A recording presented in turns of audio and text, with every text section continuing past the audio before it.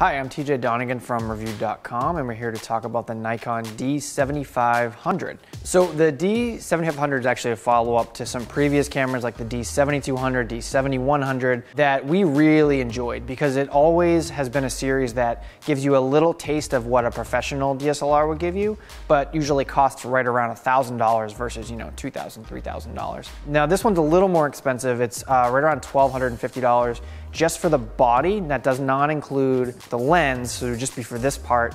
And then you'd have to buy a lens separately. You can buy it with the lens, but that's gonna cost you closer to $1,500 or $1,600, um, which obviously at that point you're dealing with a pretty significant investment and you're also bumping into some of Nikon's better cameras like the D500, which is really more of a higher end camera, but again, the prices are that close. Now the D500 is really interesting because it's actually one of our favorite cameras we've ever tested. And again, it's only a couple hundred dollars more than this. In general though, the things that make the D500 uh, a little more expensive and a little more professional grade, like having two memory card slots and being a little bit faster, having a little nicer focus, uh, aren't gonna matter for a lot of people who are just sort of shooting on the weekends or shooting family functions or if you have grandkids or something like that.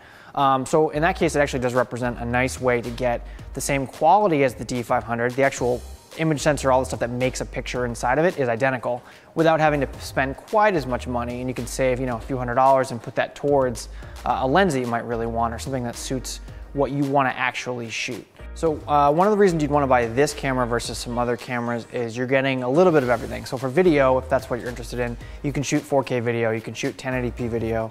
Um, it's got a really nice flip out screen, which is great for video. It's got a mic port, it's got everything you might want. And then if you want to shoot action, it's got a really nice autofocus system. It shoots eight frames a second, which is about this fast pretty good. It gives you a little bit of everything if you want to shoot action, you want to shoot just really good photos, whether you're into wildlife or landscapes or whatever, um, or if you want to do video, it can do it all. And again, it's only about 1250 for just the body, and then you can sort of add lenses on.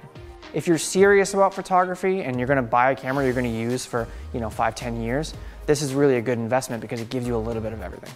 If you want to read all of our test results, see our sample photos, and, read our full opinion on the Nikon D7500, I'd encourage you to check out our review. Just go to cameras.reviewed.com.